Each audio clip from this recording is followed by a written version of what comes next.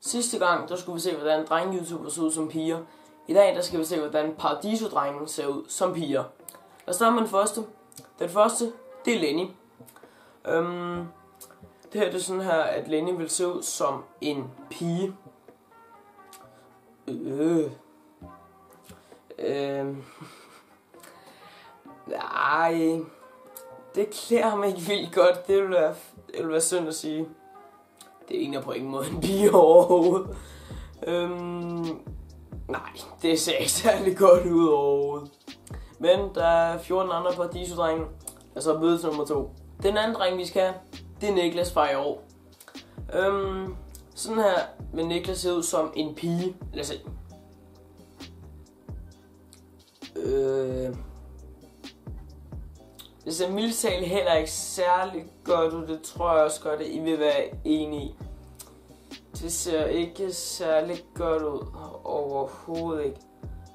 Hold, det kunne lige gå ind. Men jeg ikke, hvad fanden der sker dernede for um, brystkassen, om der er kommet en BH på, eller noget, der skulle ligne. Det ser mildt talt heller ikke særlig godt ud. Men lad os så videre til den tredje paradisdreng. Den tredje dreng, det er Oliver fra sidste år. Øhm, sådan her ser Oliver ud som en pige. Lad os se.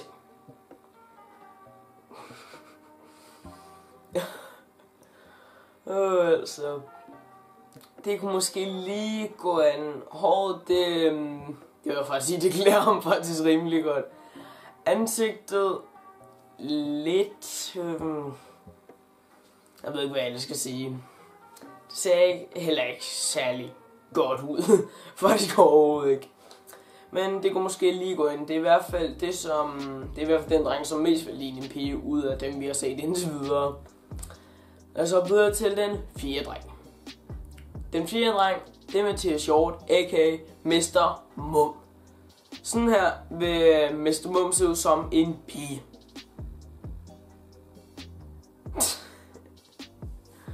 Åh, oh, for helvede, mand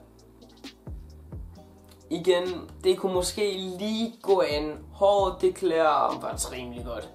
Og det er lidt sygt at se um, en pige med så store muller og sådan en ordentlig sixpack og nogle store lovpasser. Og så alligevel har man en pik. Det ser lidt sjovt ud. Man kan tydeligt se, at det her det er med Mathias Hjort. Måske kunne det gå an, jeg ved ikke. Hvad synes I om det her billede? Skriv det lige ned i kommentarerne. Altså videre til den femte dreng. Den femte dreng, det er Tejtur. Tejtur var med i sæson 15, så ikke I kender ham i forvejen. Sådan her vil Tejtur se ud som en pige. Nej, nej, det ser ikke. Det ser ikke godt ud. Det ligner bare, at han har fået en par ryg på. Det ser ikke særlig godt ud. Det ligner bare, at han har fået en par ryg på, ikke andet. Der er ikke så meget at sige til det. Lad os så videre til næste dreng. Den sjette dreng, det er Daniel, a.k.a. The Lonely Wolf. Sådan her ser Daniel ud, han er i øvrigt for sæson 16. Lad os se, hvordan han ser ud som en pige. Ja, ja, ja, ja. Det kunne, det kunne mere gå an. Håret, det ser faktisk okay ud. Ansigtet, det er lige noget andet. Ansigtet, det er ikke gået så godt. Jeg tror, at det her det er den bedste paradisdreng som en pige. Håret, det ser rimelig godt ud. Ansigtet, øh, det, kunne, det kunne godt gå ind. Det er i hvert fald det bedste indtil videre. Altså videre til den næste paradisdreng. Den syvende dreng, det er Boris Laversen. Så ikke vidste, så har Boris været med i Paradise før. Han er fra sæson 13.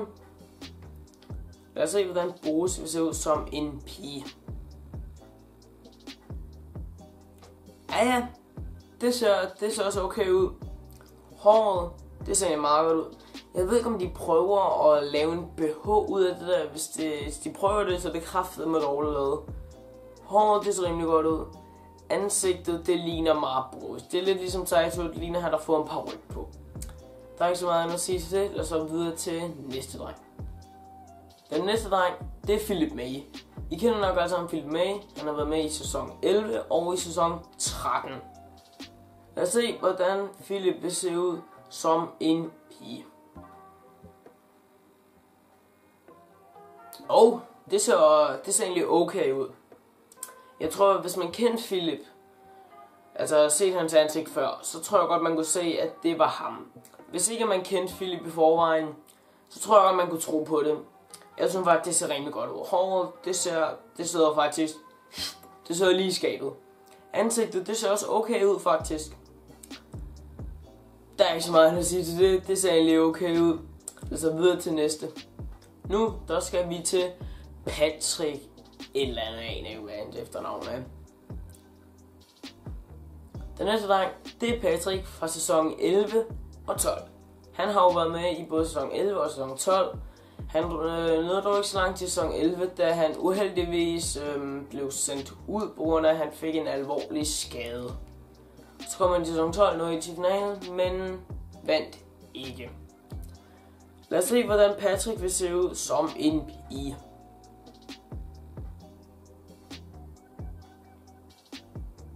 Jo, det kunne egentlig også godt gå an. Det ligner egentlig også, at han har fået en par ryg på.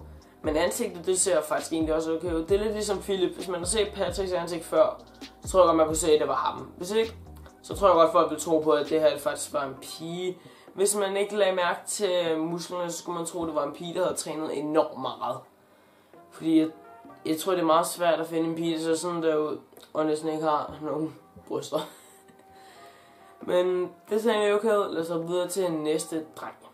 Den næste dreng, det er tyrker. Vi kender jo alle sammen tyrker for at have startet Bronuts, det kendte donutsted, hvor de laver sindssygt gode donuts. De laver, fuck, de laver nogle gode donuts, det er det helt vildt. Men vi skal ikke snakke om tyrkers donuts, men vi skal... Men vi skal ikke snakke om tyrkers donuts, vi skal se, hvordan tyrker vil se ud som en pige. Fuck, det ser egentlig godt ud. Altså, ikke lige en type, jeg må gå efter. Men det ser egentlig meget troværdigt ud. Håret, det sidder lige i skabet. Ansigtet, det tror jeg næsten heller ikke, at man vil se, det var tyrkers. Det ser egentlig meget ud. Jeg tror, man kunne prank folk med at sige, hey, det er ikke en smuk pige. Åh oh, jo, det skulle da en mega lækker pige, man kunne da godt lide med. Altså, ej, hvor du ulækker, det er tyrker. Ah,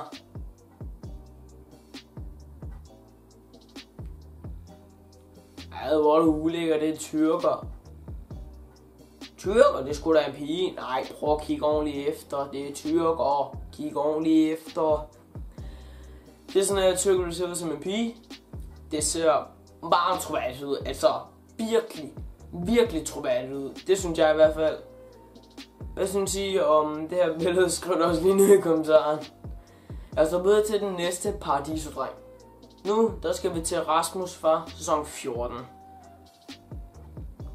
Nu, der skal vi til Rasmus fra sæson 14. Jeg ved ikke, om I kan huske Rasmus fra sæson 14. Han røg ud rimelig tidligt, så det er måske derfor, I måske ikke kan huske ham. Jeg kan i hvert fald godt huske ham, fordi jeg har set Paradise sindssygt meget. Men lad os se, hvordan Rasmus ser ud som en pige. Det ser egentlig også meget godt ud. Håret, det sidder også lige i skabet. Ansigtet, det ligner ham på ingen måde. Jeg tror virkelig også, ligesom tyrker, at man kunne øh, sige, at det er ikke en okay flot pige. Åh oh, jo, det er mega flot. Jamen, det er bare en eller anden dreng fra Paradise. Nå, okay. det ser egentlig meget troværdigt ud. Det synes jeg i hvert fald. Jeg ved ikke, hvad I synes om det her billede. Jeg synes i hvert fald, det ser sindssygt troværdigt ud. Men lad os så videre til den næste Paradiso-dreng. Nu der er vi nået til Jonas fra sæson 15. Jeg tror, jeg alle sammen godt kan huske Jonas. Han var en kæmpe personlighed derinde. Han nåede i divinalen, men vandt desværre ikke. Lad os se, hvordan Jonas vil se ud som en pige. Øh, nej, det ser ikke særlig godt. Håret, det ser okay ud. Ansigtet, det kan man rimelig tydeligt se af Jonas. Det ser mildt ikke særlig godt ud. Jeg tror ikke, man vil tro på, at det er faktisk var en pige. Men lad os komme videre til næste paradisodreng. Nu er vi nået til Jonas, ham som var med i år i den her sæson. Lad os se, hvordan Jonas vil se ud som en pige. Øh. Det er meget ligesom med Jonas' det ser ikke særlig godt ud. Håret, det er nok det eneste. Men ansigtet... Nej, jeg synes virkelig ikke, at det ligner en pige overhovedet. Det ser militært ikke særlig godt ud. Lad os bare hoppe videre til næste dreng. Nu der skal vi til Nikolaj, som også var med i år, a.k.a. Anne P's kæreste. Lad os se, hvordan Nikolaj vil se ud som en pige, og om Anne P. virkelig gerne vil være kærester med pige Nikolaj. Ja, håret det ser fucking godt ud. Ansigtet det ligner bare, at han har fået noget makeup i ansigtet og har fået en par på. Måske lidt ligesom Titus hår, der sidder lige i skabet. Ansigtet ligner bare, at han har fået en masse sminke i hovedet, så skulle han ligne en pige. Det ligner ikke, at det er gået godt. Jeg tror ikke, at Anne vil være sammen med pigen Nikolaj alligevel. Men det ser okay ud. Jeg ved ikke mere. Jeg synes, det ser okay ud. Lad os så videre til næste dreng. Så er det rosinen i pølsen. Det er Sinan også fra i år. Lad os se, hvordan Sinan vil se ud som en pige. Nej, nej, det er 100% det dårligste billede. Altså, virkelig, det er virkelig ikke særlig godt. Håret, nej, det ser heller ikke særlig godt ud. Ansigtet, på ingen måde ligner han har fået en masse sminke i hovedet, og så en eller anden grim paryk. Det ser forfærdeligt ud, for at sige det helt ærligt. Så kan jeg bedre lide, hvordan drengesen ser ud end pige den. Det ser ikke særlig godt ud, det vil være synd at sige. Så har vi mål med, hvordan drengeparadisoer så ud som piger. Skal jeg lave en, hvor jeg ser, hvordan pigeparadisoer vil se ud som drenge, så smid et lille like. Fordi øh, så ved jeg, at øh, måske noget, I gerne vil se mere. Hvis I vil se mere Paradise på kanalen, nogle Paradise videoer, så giv det et like, for jeg synes selv, at Paradise det er fucking sjovt at lave videoer med. Glem ikke at subscribe til min kanal, det betyder latterligt meget bare at få en ny abonnent. Ja, ellers er altså, der ikke så meget at sige. Adios amigos.